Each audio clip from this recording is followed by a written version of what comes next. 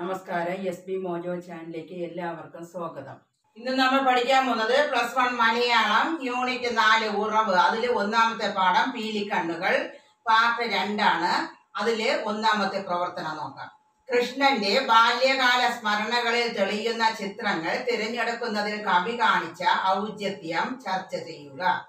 അതിന്റെ ഉത്തരം ഗാഥാ പ്രസ്ഥാനത്തിൽ നമുക്ക് ഓർക്കാൻ കൃഷ്ണഗാഥ അഥവാ കൃഷ്ണപാട്ട് എന്ന ഈ കൃതി മാത്രമാണ് ഉള്ളത്. ഭാഗവതം ദശമസ്കന്ധത്തിലെ കൃഷ്ണകഥ സർവതല സ്പർശിയാണ് ശ്രീകൃഷ്ണന്റെ ജന്മം മുതൽ സ്വർഗാരോഹണം വരെയുള്ള സംഭവങ്ങളുടെ കാവ്യ ആവിഷ്കാരമാണ് ഇതിലെ പ്രതിപാദനം. മഞ്ചരി വൃത്തത്തിലാണ് ഈ മഹാകാവ്യം രചിച്ചിട്ടുള്ളത്. ചെറുശ്ശേരി എന്ന കവിയാണ് ഇതിന്റെ ഉപജ്ഞാതാവ്. മനുഷ്യ ജീവിതത്തിലെ ഏറ്റവും ആഹ്ലാദം നിറഞ്ഞ മറ്റുള്ളവർക്ക് ആനന്ദത്തെ പകരുന്നതാണ് ബാല്യകാലം. ബാലലീലകൾ നിറഞ്ഞ ആ കാലത്തെ വർണിക്കുക എന്നത് വളരെ ഹൃദ്യമാണ്. ബാല്യത്തിന്റെ കുറുമ്പും കുസൃതിയും ലീലകളും ഏതൊരാളും ഇഷ്ടപ്പെടുന്നു? അതിന് കാരണം ഏതൊരാളുടെയും ഉള്ളിൽ കൃഷ്ണനേത് കൃഷ്ണന്റേത് പോലെയുള്ള ഒരു ബാല്യം ഉറങ്ങിക്കിടക്കുന്നു എന്നുള്ളതാണ്. ആ ബാല്യത്തിന്റെ സചേതനമായ ചിത്രമാണ് ചെറുശ്ശേരി കൃഷ്ണഗാഥയിൽ കൃഷ്ണന്റെ ബാല്യത്തെ വർണിക്കുമ്പോൾ അവതരിപ്പിച്ചിട്ടുള്ളത്. നന്ദഗോപരുടെ അടുത്ത് നിന്ന് ഗോകുലത്തിൽ നിന്ന് അകന്ന് മധുരയിൽ കഴിയേണ്ടി വന്നപ്പോൾ കൃഷ്ണനുണ്ടായ ഗ്രഹാതുരത്വമാണ് ഇവിടെ വർണിക്കപ്പെടുന്നത്. നന്ദഗോപരോടും യശോദയുടെ ഒപ്പവും ചങ്ങാതിമാരോടൊപ്പവും ഗോകുലത്തിൽ ചെലവഴിച്ച ബാല്യകാലം കൃഷ്ണന് മറക്കാൻ കഴിയുമായിരുന്നില്ല.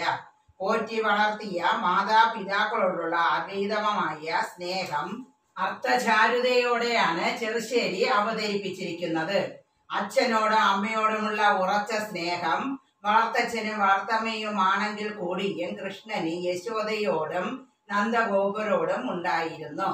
പെറ്റമ്മയെയും പിതാവിനെയും ലഭിക്കുമ്പോഴും തീയിലും വെള്ളത്തിലും അകപ്പെടാതെ തന്നെ രക്ഷിച്ചു വളർത്തിയ മാതാപിതാക്കളോടുള്ള സ്നേഹവും കടപ്പാടും ഒരിക്കലും മറക്കാൻ കഴിയില്ല എന്ന് കൃഷ്ണൻ നന്ദഗോപരോട് പറയുന്നു.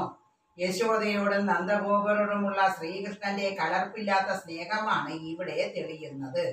ശ്രീകൃഷ്ണന്റെ ബാല്യകാല സ്മരണകൾ അതീവ ഹൃദ്യമാണ് ഓജസ്സുള്ളത് സൂക്ഷ്മവുമായ രംഗങ്ങൾ ചെറുശ്ശേരി ഔചിത്യപൂർവം തിരഞ്ഞെടുത്തിരിക്കുന്നു. അച്ഛനമ്മമാരുമായുള്ള വൈകാരിക രംഗങ്ങൾ കൂട്ടുകാരുമൊത്തുള്ള രസകരമായ മുഹൂർത്തങ്ങൾ എന്നിവ കൃഷ്ണൻ ഓർത്തെടുക്കുന്നു. അവ ലൗകിക ജീവിതത്തിലേതാണ്. കേരളീയമായ രംഗങ്ങൾ വായനക്കാരന്റെ മനസ്സിലേക്ക് ഓടിയെത്തും.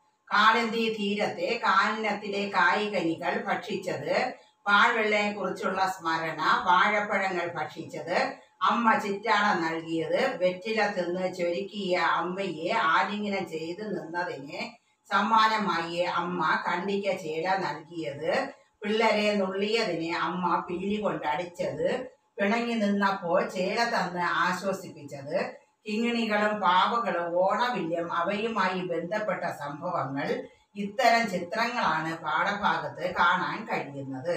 അവ തീവ്രമായ വൈക വൈകാരിക അനുഭവം വായനക്കാരന് നൽകുന്നു.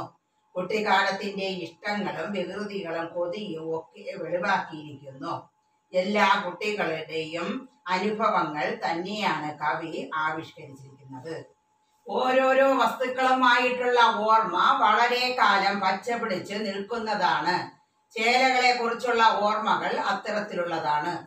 രാജാവായിട്ട് നിസ്സാരമായ ഇത്തരം മുഹൂർത്തങ്ങൾ അദ്ദേഹം പ്രിയപ്പെട്ടതായി ഓർത്തെടുക്കുന്നു. അച്ഛനമ്മമാരോടുള്ള സ്നേഹം വെളിവാക്കുന്ന വാക്കുകൾ ഏറെ ഹൃദയകാരിയാണ്. പിതാവെന്ന നിലയിൽ താൻ കേൾക്കാൻ ആഗ്രഹിച്ച് തന്നെ തന്നെയാണ് നന്ദഗോപ ശ്രമിക്കുന്നത്. തന്റെ ജീവിതം സഫലമായെന്ന് മായെന്ന് അദ്ദേഹത്തിന് തോന്നിയിരിക്കണം. ലളിതമായ ഭാഷയിലാണ് കവിസ്മൃതി ചിത്രങ്ങൾ അവതരിപ്പിച്ചിരിക്കുന്നത്. ചെറുശ്ശേരിയുടെ ലോക നിരീക്ഷണ പാഠവത്തിനും ജീവിത നിരീക്ഷണ പാഠവത്തിനും ഉദാഹരണമാണ് ഈ പാഠഭാഗം എന്ന് നിസ്സംശയം പറയാം. അടുത്ത പ്രവർത്തനം രണ്ട് ഇങ്ങനെയുള്ള ഞാൻ എന്നെ മറക്കിൽ നിങ്ങളെ എന്നും മറക്കയില്ലേ? ഈ വരികൾ നമുക്ക് നൽകുന്ന ജീവിത പാഠം എന്താണ്? ഒരു വാക്യത്തിൽ ഉത്തരം എഴുതുക. അപ്പൊ അതിന്റെ ഉത്തരം അച്ഛൻ അമ്മമാരുടെ കരുതലും സ്നേഹവായ്പും നാം ഒരിക്കലും മറക്കരുത്.